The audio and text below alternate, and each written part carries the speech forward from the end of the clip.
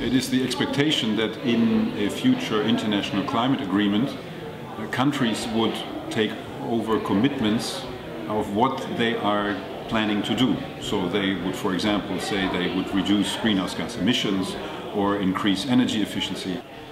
One question is when countries come forward with these proposals on how much they want to reduce emissions or what actions they want to uh, take. And the idea is that they come forward with these proposals during uh, early uh, 2015 or late 2014 with a proposal and this proposal is then reviewed by the international community and then finally fixed uh, in the agreement. You know, there are different principles which can be used to determine whether a contribution is fair or not.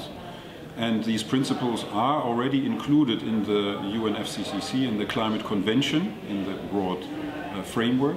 And one is responsibility and the other one is capability. Responsibility means how much emissions a country has emitted in the past.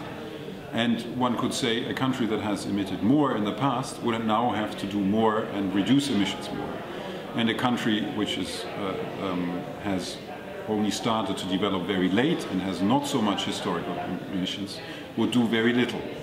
That's one idea. The other idea is that of capability. Those countries that have more economic power to do something should do more, and those that have less economic power should do less. And uh, that is another metric that can be used. And combining these also with other metrics that countries come up with, one can define or can evaluate how much individual countries uh, would have to contribute in order so that they make a fair contribution.